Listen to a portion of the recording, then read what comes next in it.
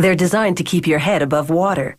Inflatable safety devices activate in seconds to buoy you up and keep you afloat until help arrives. You'll find these survival devices on airplanes and boats. Even when they're not inflated, they're a bit of a cushion because knowing they're there makes you feel safer. To make a life vest, a computer-controlled knife cuts a pattern in urethane-coated nylon. Heat from the blade makes some pieces stick together, so a worker peels them apart. This shiny side is the waterproof coating.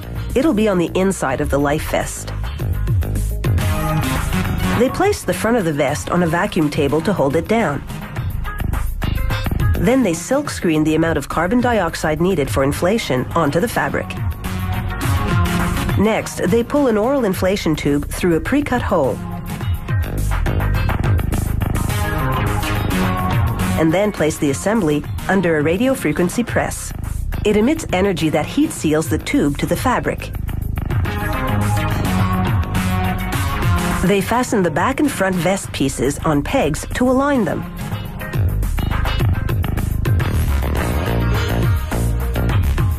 She slides the table with the vest pieces under a big radio frequency press.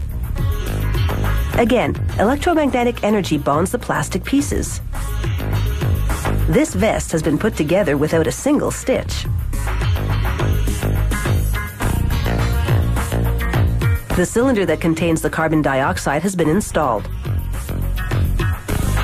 It holds 33 grams of the gas under pressure, which will instantly inflate the vest with one tug on a tab. It also activates automatically when immersed in water. A little tablet inside dissolves, triggering a spring that punctures the cylinder.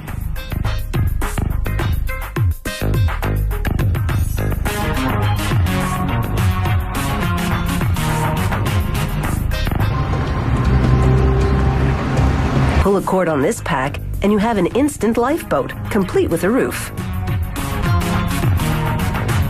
To make one, the computerized blade cuts shapes out of rubberized fabric, while a plastic film helps hold it in place.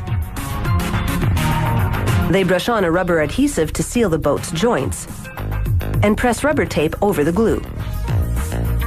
They remove air bubbles. It'll take several days for the bonding to be complete. They apply the same rubber adhesive to all the inflation valves and pressure tubes.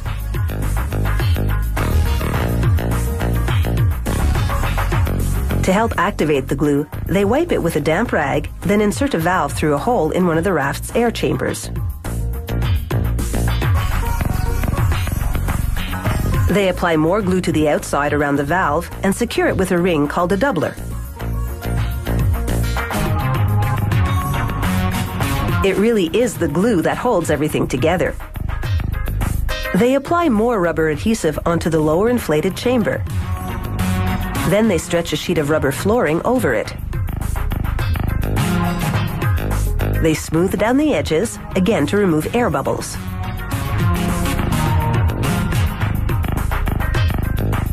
They run rubberized tape around the rim. It will protect it and also act as a hinge between the floor and the upper air chamber, which will go on next.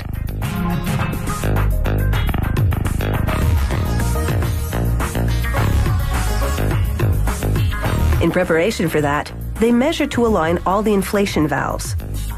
Then they pull the upper air chamber, the walls of the raft, on top of the floor and lower chamber.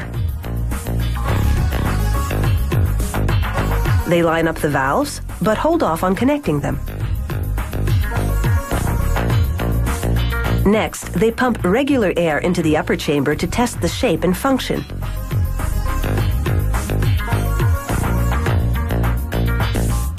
A plastic strip has been keeping the glued surfaces from contacting. They pull it out and push down to initiate contact.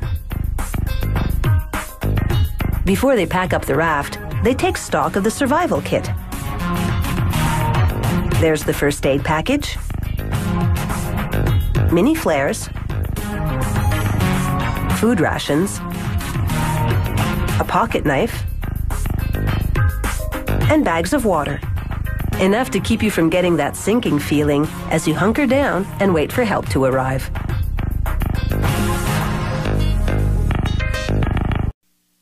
They're designed to keep your head above water. Inflatable safety devices activate in seconds to buoy you up and keep you afloat until help arrives. You'll find these survival devices on airplanes and boats. Even when they're not inflated, they're a bit of a cushion because knowing they're there makes you feel safer. To make a life vest, a computer-controlled knife cuts a pattern in urethane-coated nylon.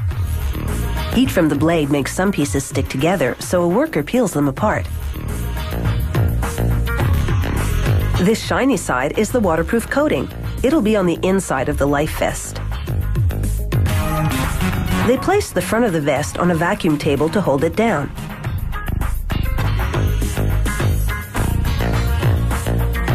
The cylinder that contains the carbon dioxide has been installed. It holds 33 grams of the gas under pressure, which will instantly inflate the vest with one tug on a tab. It also activates automatically when immersed in water. A little tablet inside dissolves, triggering a spring that punctures the cylinder.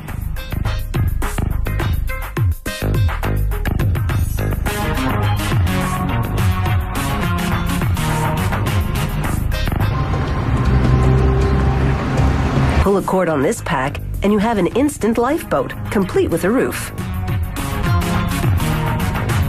To make one, the computerized blade cuts shapes out of rubberized. Then they silkscreen the amount of carbon dioxide needed for inflation onto the fabric. Next, they pull an oral inflation tube through a pre-cut hole. And then place the assembly under a radio frequency press. It emits energy that heat seals the tube to the fabric. They fasten the back and front vest pieces on pegs to align them.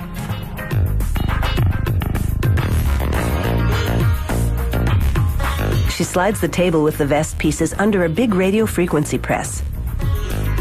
Again, electromagnetic energy bonds the plastic pieces.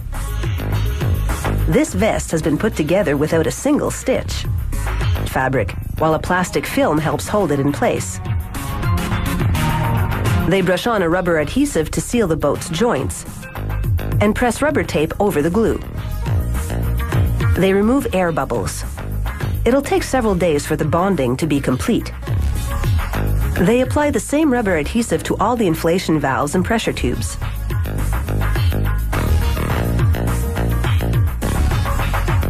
To help activate the glue, they wipe it with a damp rag, then insert a valve through a hole in one of the raft's air chambers.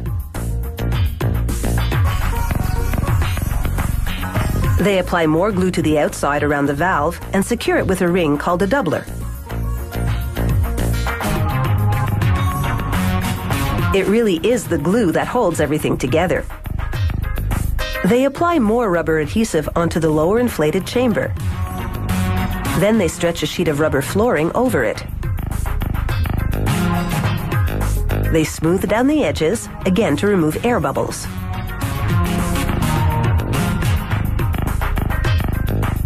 They run rubberized tape around the rim. It will protect it and also act as a hinge between the floor and the upper air chamber, which will go on next.